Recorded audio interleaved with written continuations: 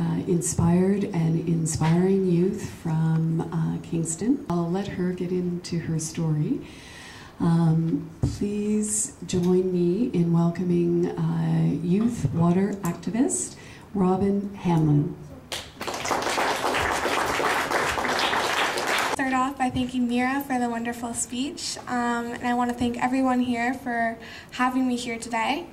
Uh, you have no idea how happy I am coming here to talk to all of you. Now, my name is Robyn Hamlyn. I am 13 years old, and I'm a grade 8 student from Kingston. I'm here today to share my story and to talk about the world's water problem. Now, my story begins in June of 2011, where my teacher showed our class a video called Blue Gold World Water Wars, um, a documentary that Sam Bozzo directed in 2008. This is a movie that hits you hard. It tells us how our water is being destroyed by mankind. It talks about how we are polluting pumping, and wasting our limited supply of water. It talks about how we are polluting, pumping, and wasting our limited supply of water. This movie shows you how people are having to fight for such a simple right that is our water. People are dying because they don't have access to clean, fresh water. And it tells you that soon enough, we too will be, be those people. And this movie hit me hard. But instead of walking out of my classroom complaining about how long and depressing the movie was, I walked out of that classroom determined to do something about it.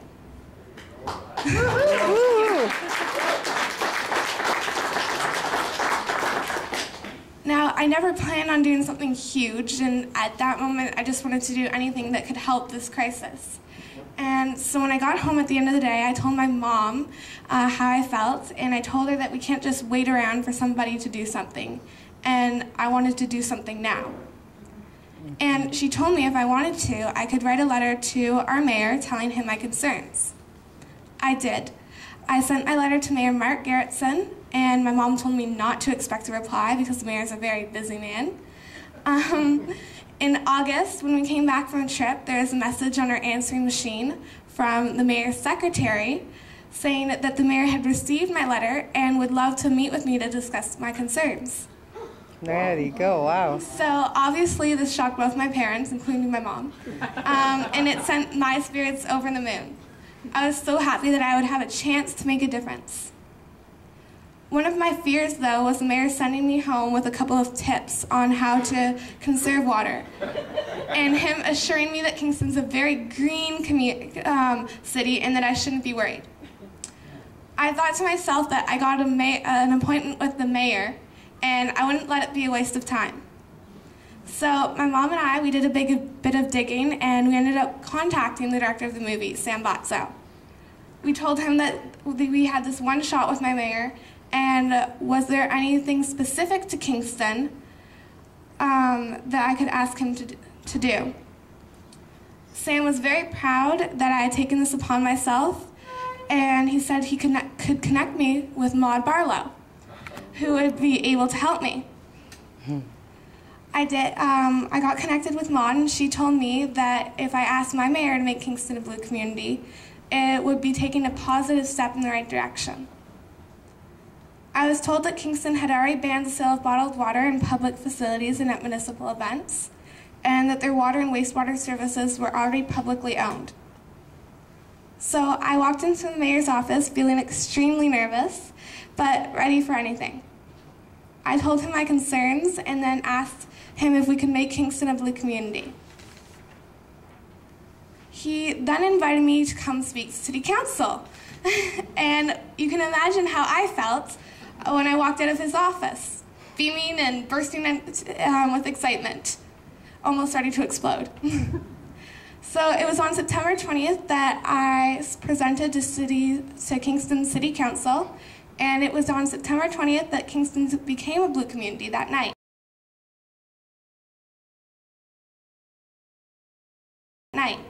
Mm-hmm. Wow.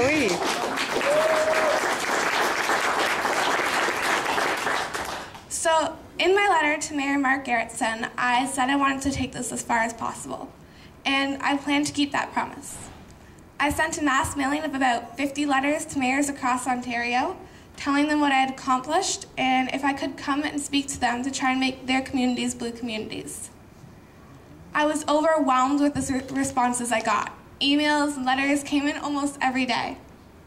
The mayor of Oshawa called me on Saturday morning when I was still in my pajamas to invite me to meet with him.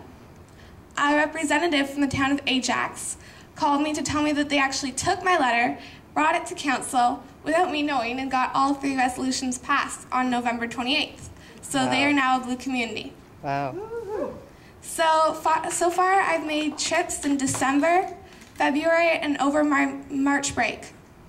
I've met with mayors, deputy mayors, and counselors in 14 different communities wow. and ma made three presentations to councils. The last and biggest trip was over March break, where we went as far west as Chatham and as far north as Owen Sound. On March 13th, I presented to Norfolk City Council. They, they passed the Human Right, right resolution without any difficulty. They agreed to phase out the sale of bottled water in public facilities and at municipal events, um, with some exceptions. Unfortunately, their wastewater facilities are privately owned. Even though um, oh. they own the building, it is privately run, and they don't have enough money to change this. I'm still happy with the results, but I do want to try um, and pass that last resolution. So I am happy to say that almost all of my meetings have been very positive and has resulted in invitations back to speak to their councils. With every meeting and every email, I'm learning more and more. I've met with people that support me and think the same way as I do. And I've met some people that give me all sorts of excuses why this can't be done. Some communities find one resolution more difficult to pass than the other. Some communities, like the town of Ajax, uh, pass all resolutions without any difficulties. These tend to be my favorite kind of cities. and ours. so my biggest struggle is trying to make people understand how bad our situation is and that we have to act now and instead of later. I get frustrated with people hung, getting hung up on small details and when they should be looking at the bigger, more scarier picture. Just some of the scary facts that I've shared in my meetings are that our Earth holds 97% salt water and 3% fresh water. Almost all of that 3% is already polluted. Because Canada is a water-rich country, we tend to take our water for granted, and we use up water faster than it can be replenished through natural systems. Canada, Russia, and Brazil are the water-rich countries of the world. As fresh water starts to disappear or become polluted, the rest of the world will want water from these three places. America has severe water problems and has already planned canals able to move Canadian water into America. I know that the Great Lakes are a big target because Canada and America share them. What is really scary though is that they are saying this will probably happen within 10 to 20 years from now, when I'm a young adult. Governments are selling water cheaply to big bottled water companies. These companies are then selling our water for huge profits. To manufacture one liter of bottled water, over six liters of water is required. Bottled water companies are saying that their water is safer, but this isn't completely true. Bottled water, because it is defined as a food under federal regulations, is under the authority of the Food and Drug Administration, while the Environmental Protection Agency, under much stricter standards, regulates tap water. Thus, bottled water, depending upon the brand, may actually be less clean and safe than tap water. There you go. Bottled water companies say that they are providing us a healthier alternative. But we have to open our eyes and look at the costs. Overpumping of our precious water, destruction of our watersheds, and all the greenhouse gases they produce in trying to give us a healthier alternative, which we can easily get from the tap.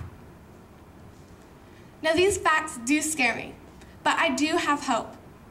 There are many problems in the world that man has created, but that doesn't mean that man cannot fix them. My mom has a quote on her fridge that says the following I am only one, but I am one.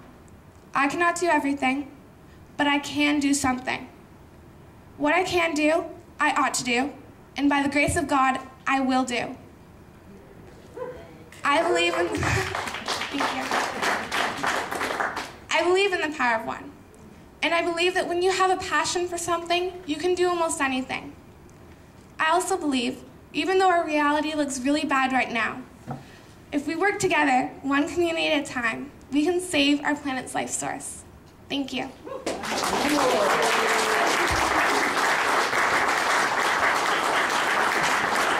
Thank you so much. Only for being here today, but for all the work that you're doing on behalf of all of us. Thank you so much.